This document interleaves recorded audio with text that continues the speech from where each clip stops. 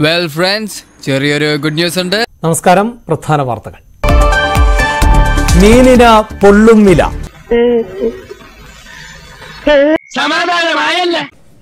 സാധാരണക്കാരുടെ പ്രിയപ്പെട്ട ഇനമായ മത്തിയുടെ വില മുന്നൂറ് കടന്നു. എന്റെ റബ്ബേ നീ എന്നെ കുത്തുവാള എടുപ്പിക്കല്ലേ? ഒരാഴ്ച കൊണ്ട് ഞാൻ എത്രത്തോളം വളർന്നുവെന്ന് എനിക്ക് പോലും അറിയില്ല. കിലോ ഇരുന്നൂറ്റി എൺപത് ഇരുന്നൂറ്റി എൺപത് പച്ച ചാള കിലോ ഇരുന്നൂറ്റി എൺപത്. പറഞ്ഞകൻ ആകാശത്തിന്റെ കീഴിൽ പണം കൊണ്ട് കിട്ടുന്നത് എന്തും ഞാൻ നിനക്ക് വാങ്ങിത്തരും. എന്തും? എന്തും.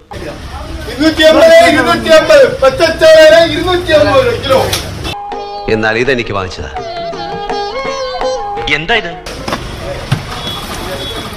ഉച്ചയൂണിന് ഹോട്ടലുകളിൽ പതിവായ മത്തി ഫ്രൈ നിലവിലെ വിലയിൽ നൽകാൻ കഴിയാത്ത സ്ഥിതിയാണ്.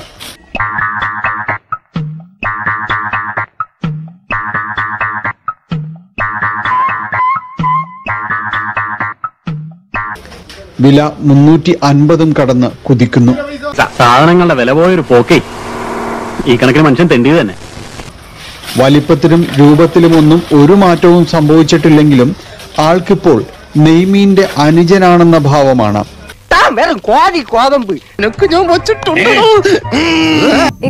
വില കൂടിയപ്പോ കുടുംബ ബജറ്റൊക്കെ എങ്ങനെ പോകുന്നു? മത്തിയൊക്കെ ഇപ്പൊ വാങ്ങാറുണ്ടോ?